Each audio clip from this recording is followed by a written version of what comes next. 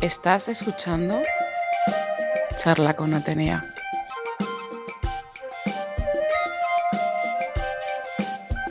Bienvenidas pequeñas lechucillas al episodio final de los ciclos troyanos de Charla con Atenea. Mi nombre es Paquibel y voy a hacer las veces de Pitia entre las deidades y vosotros, los mortales deseosos de aprender sobre mitología. Nuestro capítulo de hoy se titula Odisea y lo que pasó con Ulises. Me ha dolido en el alma tener que ponerle Ulises de nombre, porque al que me conoce sabe que me da mucha rabia que la gente utilice el nombre latino cuando la obra se llama Odisea y como tal su héroe es Odiseo, no Ulises. Pero bueno, todo sea porque vosotros os ubiquéis y no haya problemas de entendimiento. En el episodio de hoy vamos a poner fin ya, por fin, nunca mejor dicho, a los ciclos troyanos, comentando tanto la Odisea como la Telegonía, que son las dos obras finales. Así que tenemos un poquito de trabajo por delante. Al igual que con la Ilíada, voy a ir resumiendo la obra lo más que pueda para que no se os haga mucha bola, pero a la vez voy a contar un poquito más de algunos pasajes. Si alguien quiere que cuente más sobre algo en concreto, podéis dejármelo en comentarios en el vídeo de YouTube y lo tendré en cuenta para daros las explicaciones en un futuro vídeo. Que además, además, espero que sigáis conectados para la semana que viene porque se viene capitulazo especial de Aquiles y Patroclo, contestando a todas vuestras preguntas y explicando la historia de estos dos héroes desde el principio. Pero por ahora vamos con qué le pasó al padre de Telémaco, el esposo de Penélope y el rey de Ítaca.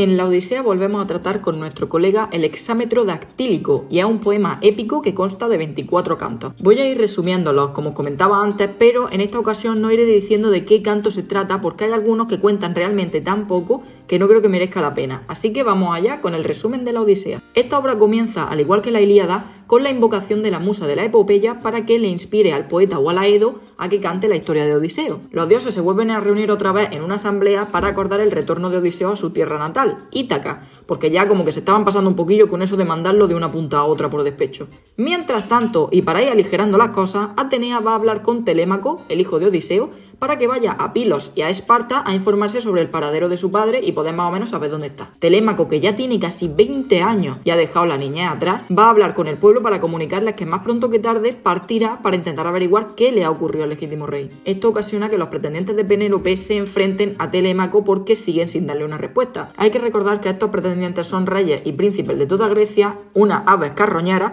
que fueron a pedir la mano de Penélope cuando vieron que la guerra de Troya se estaba alargando y que Odiseo posiblemente no iba a volver. Estos pretendientes también se pasaban los días bebiendo, jugando y en banquetes, aprovechándose y gastando todos los recursos de palacio mientras esperaban una respuesta. ¿Qué pensaréis? ¿Y por qué no los echaban? Esto es una cosa muy simple. Los griegos tenían unas leyes morales muy fuertes y una de ellas era que todo el que pidiera el ojo tenía que dárselo, fuera esa persona quien fuera y fueras tú quien fuera y aparte del alojamiento tenías que proveerlo de todo lo que esa persona quisiera mientras tú pudieras proporcionárselo dentro de la medida de lo posible. Y no, la gente no se solía aprovechar de esto porque tenían, como he dicho, una moral muy fuerte y no era de su estilo eso de ir pidiendo alojamiento gratis por ahí porque sí. Esto lo único que hacía era más fuerte aún que el colectivo en general odiase a estos pretendientes. Era la intención del poeta que cantaba la historia, que no te cayesen bien. Finalmente, Telémaco consigue salir del palacio y junto con Atenea embarca y va directo a Pilos. Allí lo acoge el rey Néstor, que si os suena el nombre es porque era uno de los reyes griegos que luchó en Troya. El pobre empieza a rememorar la guerra y lo que pasó junto a Odiseo y hasta se emociona. Pero le dice al chico que su padre no está allí, pero que vaya a Esparta, que seguro que tienen más noticias. Y Telémaco hace lo propio, va a Esparta. Efectivamente, Menelao le dice que sí, que en Egipto supo de Odiseo cuando Proteo le contó que la ninfa Calipso lo tenía retenido a pesar de que él no quería seguir allí. Supuestamente retenido, ya entenderéis por qué lo digo. Aquí nos enteramos de que en Ítaca los pretendientes no paran de acosar a Penélope lo que hace por fin a los dioses recapacitar y Zeus manda a Hermes a la isla de Calipso. El dios mensajero le expresa a la ninfa el deseo que tiene Zeus de que deje ir a Odiseo de una maldita vez, pero Calipso sigue sin estar muy de acuerdo. Aún así, Odiseo se fabrica una balsa y se va desde allí con tal mala suerte que naufraga y llega a Esqueria, donde es encontrado por la princesa Nausica. La chica lo lleva ante su padre, Alcino, rey de los Feacios, y Odiseo comienza entonces, estando ya en el canto 7 de la obra, a contarles todas sus aventuras, empezando por los siete años que pasó con Calipso. Siete años. Porque sí, ella le retenía, pero es que él había estado con ella de forma íntima durante todo ese tiempo. No parecía tampoco tener muchas ganas de irse. Durante el canto octavo vemos como una Edo comienza a cantar diferentes historias, como la de la infidelidad de Afrodita con Ares, y luego empieza a contar la guerra de Troya, convertida ya en leyenda. Los feacios no sabían que Odiseo era un rey y que había participado en ella, básicamente porque él no lo dice. Pero el griego no puede evitar emocionarse cuando escucha el relato de la guerra y comienza a llorar de tristeza. Alcino le pregunta de nuevo quién es y por qué se emociona tanto, lo que hace que Odiseo termine por revelar su identidad y le empiece a contar qué pasó desde que salió de Troya hasta encontrarse con Calipso. Aquí empiezan los pasajes que casi todos conocéis sobre la Odisea, la aventura por mar de Odiseo.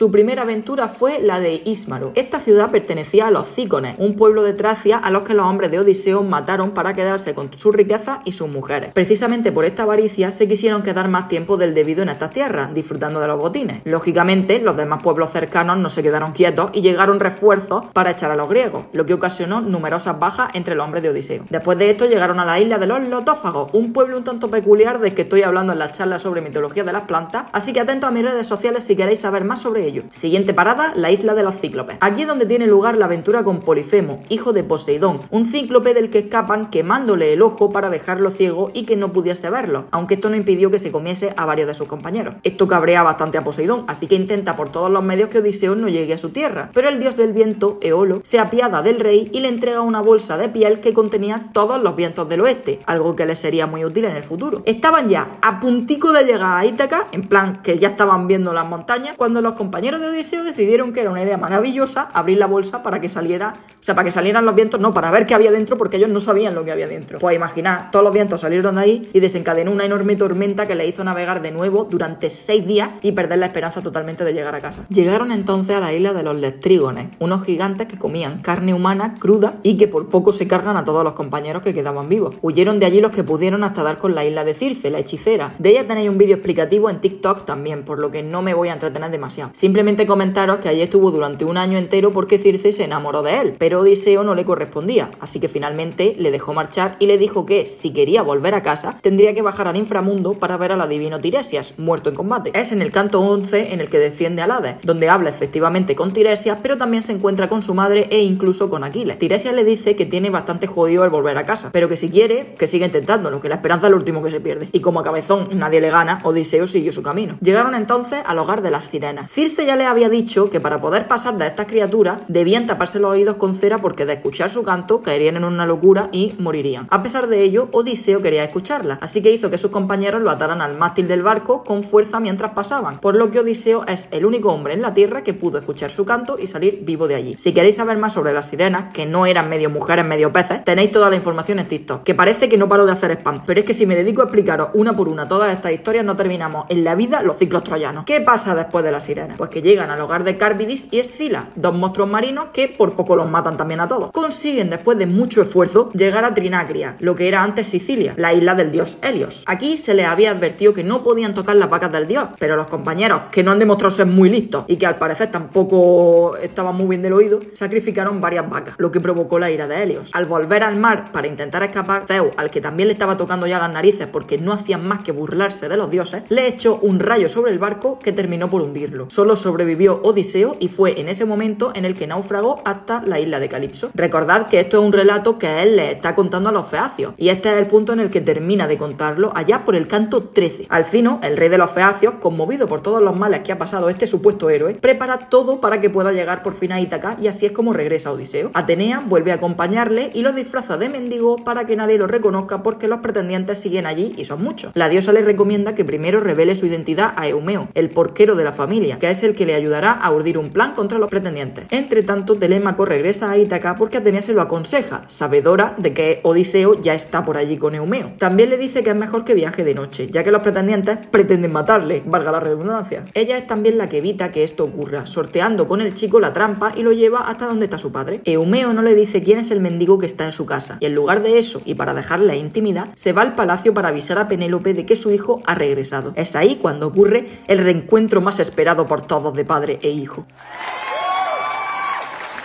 Ambos terminan de urdir el plan de venganza ayudados también por Zeus y por Atenea. Odiseo, al día siguiente, va como mendigo al palacio para pedir asilo y ellos lo humillan, los pretendientes. Como he dicho antes, esto era para que los griegos le tuvieran aún más tirria porque eso era bastante malo, el hacer lo que el humillar a alguien que venía a pedirte asilo. Al llegar al palacio, el único que lo reconoce es Argos, su perro, que había esperado pacientemente a su amo hasta que él llegó. Es a sus pies y por viejo donde el canino finalmente fallece. Que es muy triste, porque es que siempre pagan ellos el es que no entiendo. Volviendo al palacio, Odiseo se encuentra con Penélope como mendigo y mantienen una larga conversación con ella, donde ve que su mujer le ha sido fiel y que todos esos son unos buitres. Al volver de nuevo a la sala del banquete, la criada Euriclea que había amamantado a Odiseo, lo reconoce por una cicatriz que tiene en su pierna mientras le lava los pies. La mujer se abraza a él con intención de llorar, pero Odiseo le pide silencio para no ser descubierto y ella obedece. Al día siguiente, Odiseo pide una señal y Zeus lanza un rayo en un cielo completamente azul. Así que los sirvientes comienzan a pensar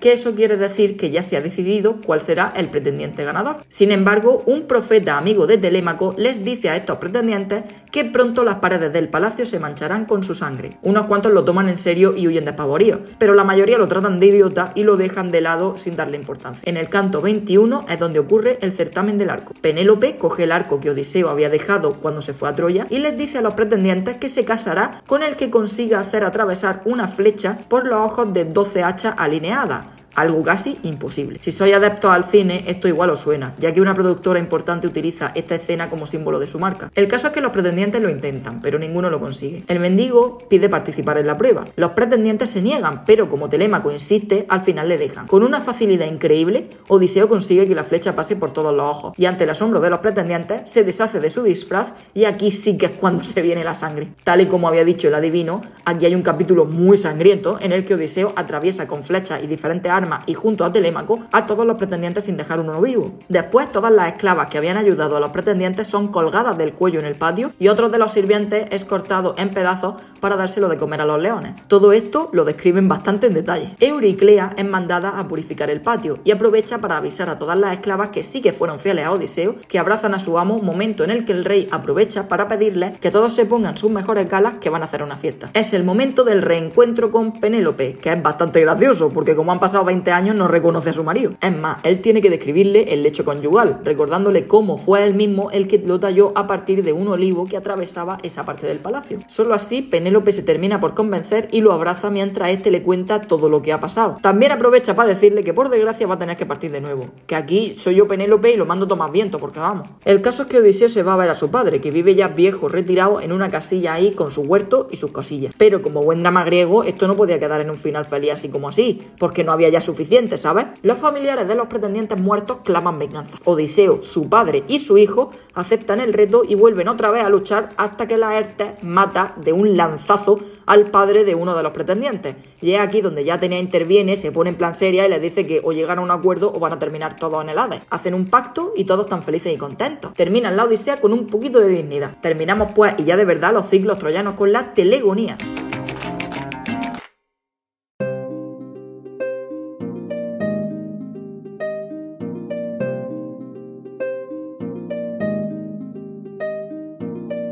Esta obra es bastante menos enrevesada, así que no vamos a tardar mucho en finiquitarla. Comienza contándonos lo que ocurre después de la matanza de los pretendientes. Se entierran los cuerpos y Odiseo hace sacrificio en una cueva, pero no una cueva cualquiera, una cueva consagrada a un grupo de ninfas. Es allí donde decide que es el mejor lugar para esconder el tesoro que consiguió en Troya. Y es entonces cuando viaja de nuevo, esta vez a Élide para ver a Políxeno, el rey del lugar que le da como un cuenco decorado muy bonito. De nuevo en Ítaca comunica que tiene que viajar, pues Tiresias, el adivino muerto que vio en el le había dicho que tenía que hacer sacrificio allí. Pues aquí donde nuestro genial colega decide casarse con la reina del lugar Calídice, y encima tiene un hijo con ella, Polipetes. Se queda más tiempo, entre otras cosas también, porque se origina una guerra entre este pueblo y los brigos, unos vecinos que por orden del dios Ares lucha contra ellos. Atenea, entonces, decide tener un enfrentamiento con su medio hermano Ares por este motivo, y no cesan hasta que Apolo llega para separarles. Vamos, como los niños chicos. Es en esa guerra donde la reina Calídice muere, y Odiseo vuelve a Ítaca llevándose al niño que, por gracia divina, es el heredero del trono. Que digo por gracia divina porque no lo entiendo. Si Telémaco es el mayor, no comprendo cómo Polípetes Merece el trono más que él. El caso es que en Eea, la isla de Circe, Circe tuvo también un hijo de Odiseo y Atenea le aconseja a Circe que revele al niño el nombre de su padre. No solo hace eso, sino que le da una lanza que tiene como punta el aguijón de una raya venenosa para que se defienda en el viaje porque el niño quería ver a su padre. El chaval se pierde, tiene que piratear y cuando por fin llega a Ítaca no sabe dónde está y roba ganado de Odiseo. El rey le pilla y lucha contra él hasta que Telégono, que ese es el nombre del niño, lo mata. Después de herirle, no estaba muerto todavía lógicamente, ambos hablan un poco y se dan cuenta de que son padre e hijo y Telégono lamenta enormemente haberle matado como es evidente. Lleva el cadáver al palacio y allí es reconocido tanto por Telémaco como por Penélope como hijo de Odiseo. Todos juntos van hasta la isla de Circe, donde entierran a Odiseo y donde la hechicera los convierte a todos en inmortales. La obra termina de manera algo turbia, las cosas como son, porque acaba con las bodas de Telégono con Penélope, recordemos que Telégono es el hijo de Circe, se casa con Penélope, la esposa, ex esposa de Odiseo, y Telémaco, el hijo de Penélope y Odiseo, se casa con Circe. Y lógicamente Polípete se queda como rey de Ítaca. Así termina la telegonía, que por eso se llama telegonía, entre otras cosas, porque es un poco el viaje de Telégono.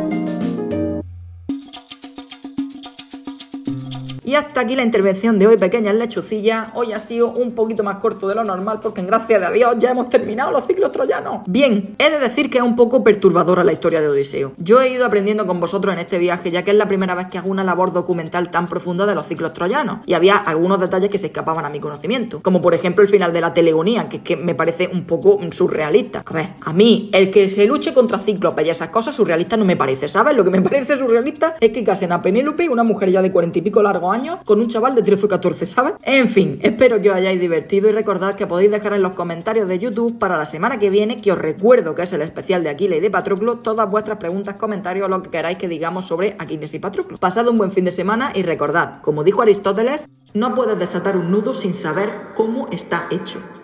Sed buena. Te esperamos todos los viernes en tu plataforma de podcast favorita. También puedes encontrarnos en redes sociales a través de los enlaces de la descripción.